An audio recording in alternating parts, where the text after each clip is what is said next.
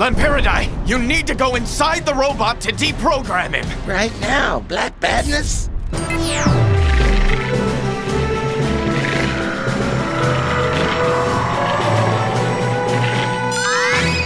Jolly hockey sticks. I thought there would be more cranks and screws and transistors, and less SIM cards and iPhones and things I can't operate.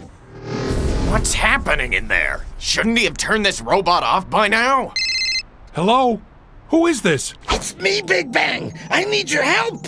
What? What do you want? I'm looking for the shutdown system in the robot, but I have no clue where I can find this. Oh my god. What are you seeing in front of you? What do you mean? I see the screen. Okay, now open the browser. Browser? Lord, click on the blue circle with the rainbow around it.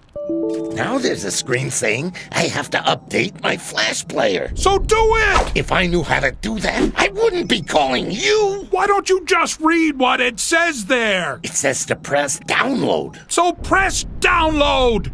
Now what? I can't believe this. Aren't you supposed to be a science genius? Not all science uses Windows or computers. Have you already accessed his system? No, I got a message here asking to update my bank info, but I can't remember my password. What?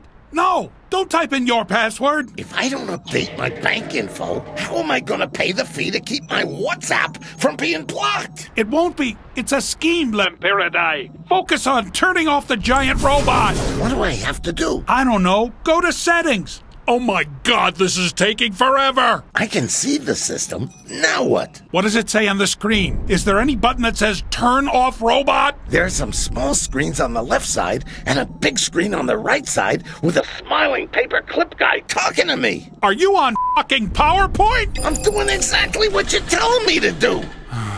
You know what? Just break everything you see in there and have no clue what it is. Why didn't you say that before?